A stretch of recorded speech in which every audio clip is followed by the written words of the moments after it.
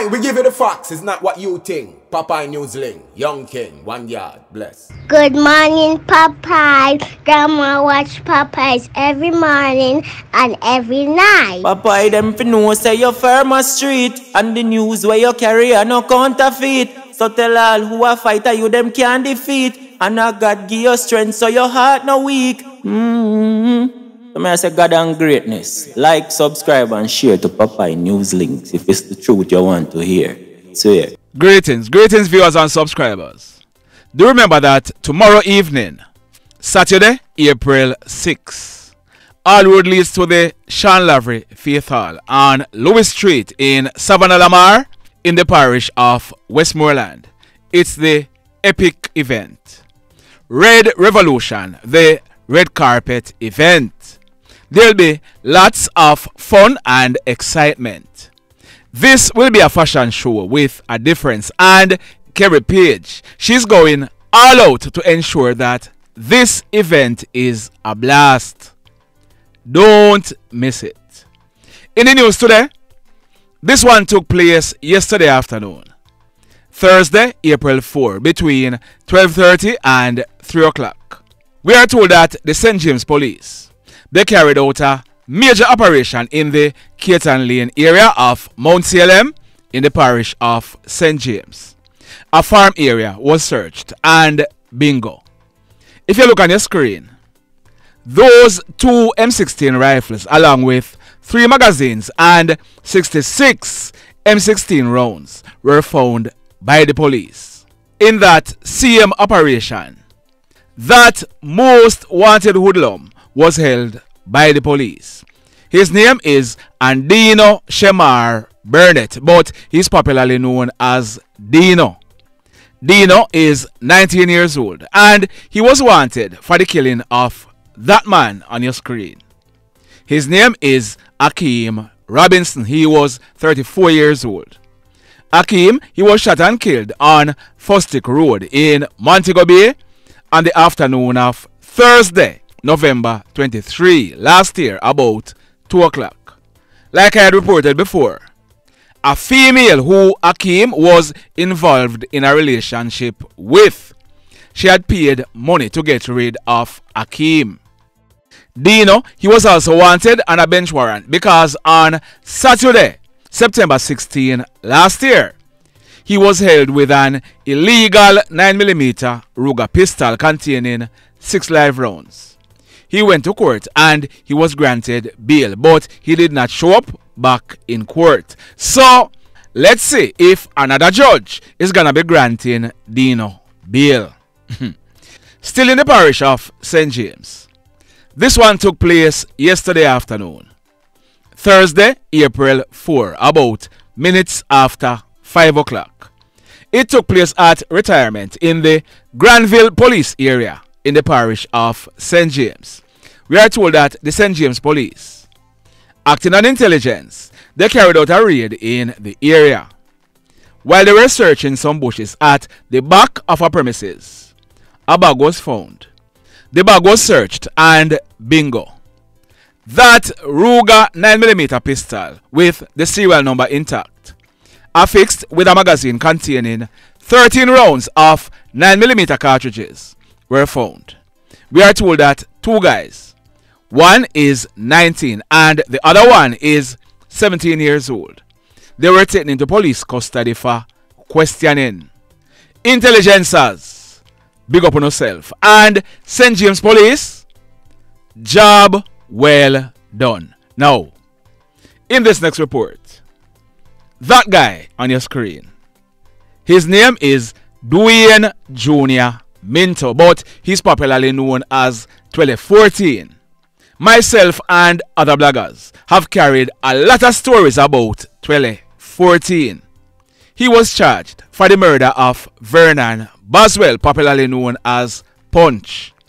Punch was 29 years old and he was an auto parts dealer and a wrecker driver.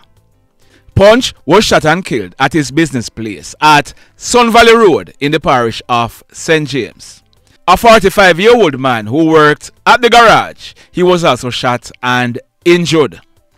That incident took place on the morning of Thursday, June 3, 2021. 1214, he went to court on the murder charge and he was subsequently granted bail. Now, we are also told that since 1214 was granted bail for the murder of Punch. He was also charged following a confrontation with the police in St. Catherine. He was charged for assaulting the police and other offences. Several attempts has been made on 1214's life. In one such attempt, he was shot and seriously wounded in Old Harbour. An off-duty police officer was nearby and he shot and killed the guy who shot 1214. 1214's brother. He was shot and killed by hoodlums. 1214's mother's house was burnt down by hoodlums and recently his aunt Sudeen Hylton, also known as Pinky, she was shot and killed by hoodlums. Reports are that 1214 he was trying to make it to the border to go to the United States of America. So he obtained a Jamaican passport in the name of Tevin Anthony Harding with the date of birth December 31, 1994. Remember now, 2014, he was born on May 31, 2000. On Tuesday, April 2, earlier this week, one day after Tom Fool's Day or All Fool's Day. 1214, he went to the Norman Manley International Airport. At the airport, he presented the passport in the name of Tevin Anthony Harding. He was supposed to be boarding an Arajet Airlines flight number 1094 to Santo Domingo in Dominica Republic with connecting flights to Panama and Belize. Alarm bells went off and 1214 he was immediately carted off and interviewed by investigators. All was revealed and Dwayne Minto, also known as 1214, he was arrested and charged for the offenses of forgery, uttering forged documents and conspiracy to commit forgery. He'll be appearing in the Kingston and St. Andrew Parish Court on Tuesday, April 9. So the question is, the question is, the fact that 1214 was trying to flee Jamaica, will he be remanded in custody on the murder charge or will he be granted bail again? Let's wait and see. And by the way, yeah man, by the way, you want to know where this country is headed? I'm gonna show you a video. This video is of 1214 and members of the 6th camp performing at the St. James High School in Montego Bay in front of teachers and students. Remember now, they had to be officially invited to come and perform at the school. Watch this. Money,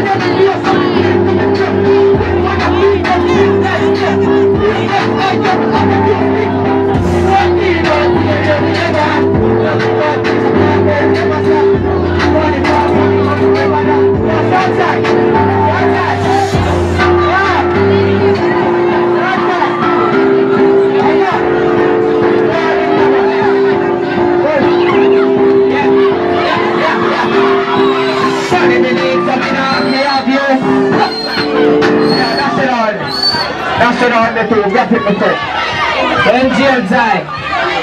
afternoon.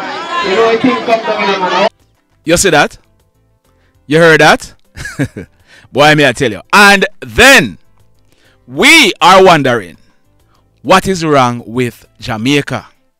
Nothing wrong with Jamaica, you know. Not a thing wrong with Jamaica. It's us as a people. I may I talk about some big people. May I talk about, you know what? In this next report, I carried a story on Wednesday, April 3. It was about an incident that took place early that same morning at minutes to 3 o'clock. It took place in front of a bar along the Lilliput Main Road in the parish of St. James. That man on your screen, his name is Jordan Gayle, but he was popularly known as Bup Gad. He was born on April 20, 1988, almost 36 years old. Gad was a welder and a DJ, and he lived on Half Moon Street in the Coral Gardens area of St. James. Gad, he was in the process of crossing the road when he was hit down by a Toyota Corolla motor car. Now, the police at the Coral Gardens police station, they are asking relatives of Jordan Gayle, also known as Bup Gad, to contact the station. As you can see on the passport, Bup Gad, he was born in the parish of St. Catherine.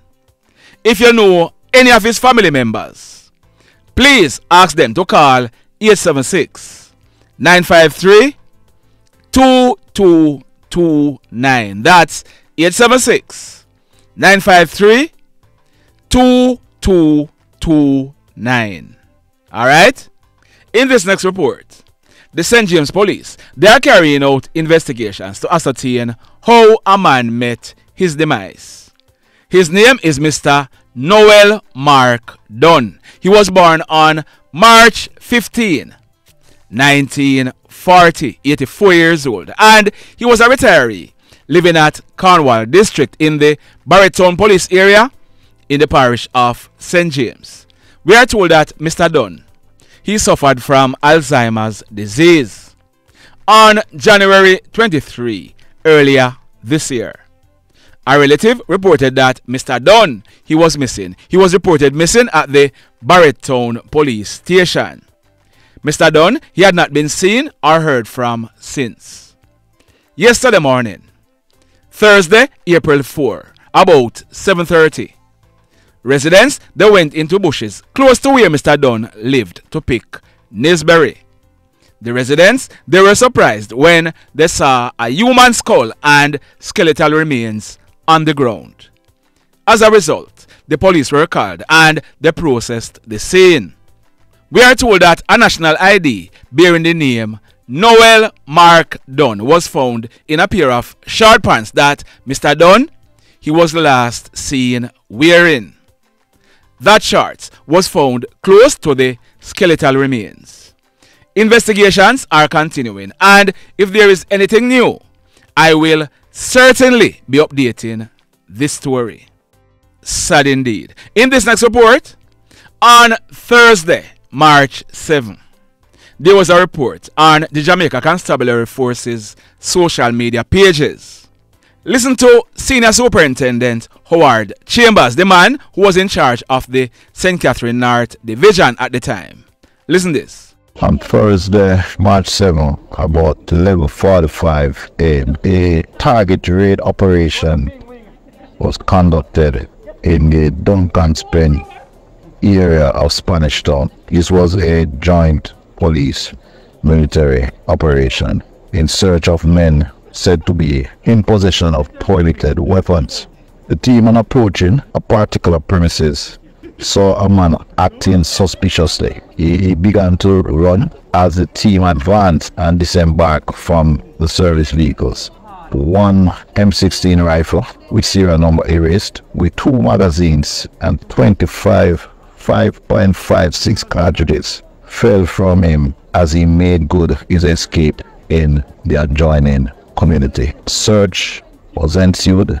The adjoining community was searched additional resources were garnered and here was canvas but this man was so the police they had named Rageek Williams, popularly known as Zeke, age 33 years old, of 10 Carlets Road in Spanish Town, as the guy who had dropped the M16 rifle and ran away. The police, they had appealed to Zeke to hand himself over to them, but Zeke, he did not. Well, yesterday evening, about a few minutes to 7 o'clock, a team of police officers acting on intelligence, they went to the back gate at the Caymanas Golf Course in St. Catherine. The police, they're reporting that they saw two hoodlums who immediately opened gunfire at them. They returned the fire and one escaped, but one was hit. The one who was hit turned out to be none other than Rageek Williams, also known as Zeke. The police, they are reporting that Zeke he was found clutching a black Taurus PT-809 pistol with the serial number intact. It was affixed with a magazine containing 9 rounds of 9mm cartridges. The police, they are also saying that they found an additional 20 9mm rounds in one of Zeke's pants pockets. Zeke, he died on the spot. Another hoodlum bites the dust. The mayhem. The may so let me ask you something. let me ask you something. Have you hit on the love button as yet? If you have not yet done so, remember to hit on it. Also, if you are over here watching our videos and you have not yet subscribed, hit on the subscribe button as also hit on the notification bell. Then click all so that whenever we drop a new video, you'll be one of the first to be notified. In the final story for today, that guy on your screen. His name is Wayde Phillips, but he was popularly known as Skatta. In less than three weeks, on April 25, Skatta, he will be celebrating his 37th birthday. Skatta lived at Orange Bay Road in the Logwood area of Hanover, where we are told that Skatta he was seen as the area Don. It is said that Skatta, he has been the target of many police operations and he was suspected to be involved in several criminal activities.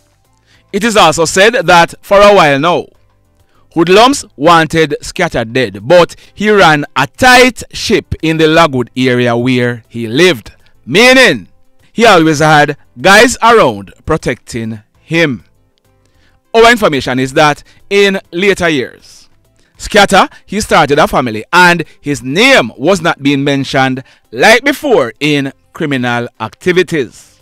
It is said that Skatta's mother and his baby mother, they operated stalls at the Bloody Bay Beach, right beside a popular hotel in Negril and it was known that Skatta he was there on some occasions. Yesterday morning, Thursday, April 5, about a few minutes to 11 o'clock, Skatta and other persons, they were in a craft shop on the beach. Skatta, he was dressed in a multicolored t-shirt, a blue jeans shorts and a pair of black slippers. Apparently, Skatta being on the beach was seen as a soft target because, like I said, in Logwood where he lived, he ran a tight ship. A hoodlum stepped in the shop, pulled a gun, and opened gunfire hitting Skatta to his head and his chest.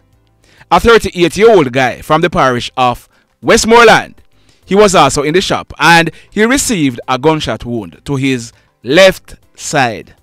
The hoodlum, he was then seen running away from the shop with a gun in his hand. Skatta, he fell to the ground and that was it for him.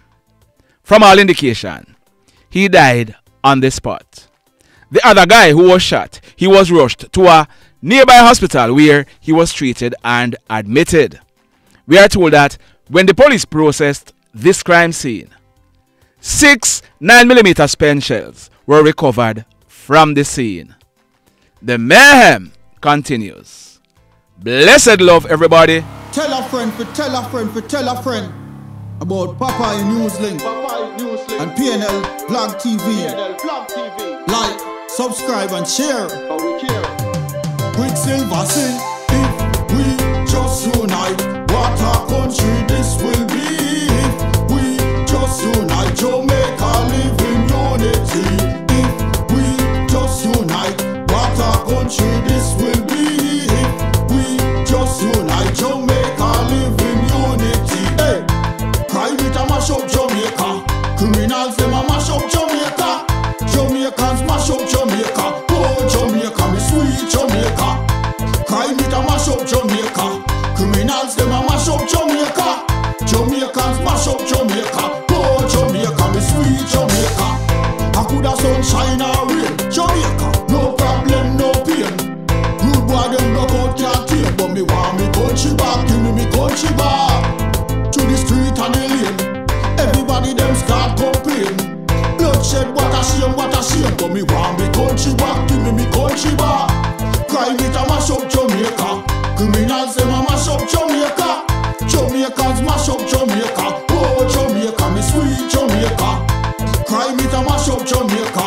Criminals, them a mash up jump